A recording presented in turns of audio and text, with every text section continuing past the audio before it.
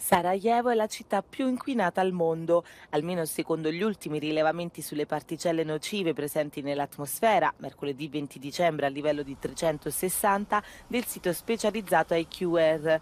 Le altre città con l'indice superiore a 300 definito pericoloso sono New Delhi in India e Lahore in Pakistan. I livelli di inquinamento dell'aria ritenuti sopportabili sono sotto l'indice 100.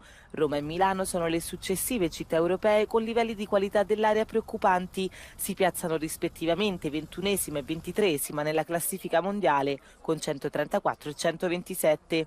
Sarajevo nei giorni scorsi è stata inghiottita da una spessa coltre di smog e nebbia. Le autorità hanno lanciato appelli a non restare a lungo all'aperto e a usare le mascherine. Ma il problema non è nuovo. Le proteste della popolazione risalgono al 2020. All'epoca gli esperti dicevano che l'inquinamento atmosferico era dovuto soprattutto all'uso di centrali elettriche a carbone e di vecchie automobili. Da allora le autorità si sono impegnate a rendere la città priva di emissioni di carbonio entro il 2035. Ja mislim da se ne moraju nositi maske iz prostog razloga što najopasniji dio aerozagađenja, a to je takozvana fina prašina, PM2,5 i PM1, e, bez problema prolazi svaku masku i ulazi u plućnu barijeru.